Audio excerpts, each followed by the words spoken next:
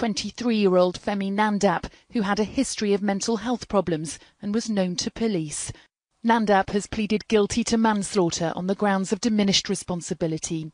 But Dr. Ensink's baby daughter will never know her father and may one day ask who was responsible for his death. Carl Smith and Andy Barker are going to push me out of my comfort zone and help me scale this enormous rock face. And then I need to get up.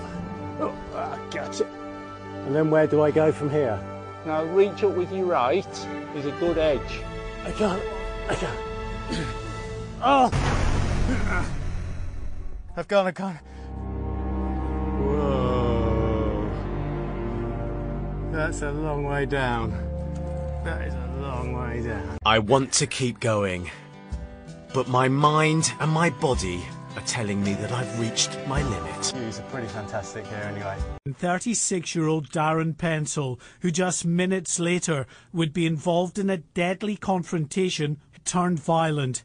In images shown to the jury but too graphic to be released publicly, the victim is seen being stabbed 18 times in just 25 seconds. Darren Pencille admits possessing a knife but has pleaded not guilty to murdering Lee Pomeroy. Svenson Kui were found guilty of Jodie's murder. Just a few months before she died, Jodi had visited 10 Downing Street with her scout group. 21-year-old Sean Bull murder 24-year-old Paulius Petrosawanis. Joel Osei, who's 26 years old, killed a 43-year-old Irishman, Adrian Murphy. Ali Harbi Ali is arrested at the scene of the murder of MP Sir David Amess.